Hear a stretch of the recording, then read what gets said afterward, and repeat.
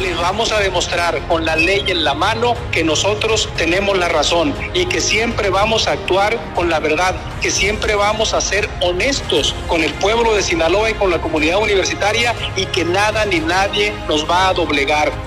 En defensa de la autonomía y la dignidad universitaria.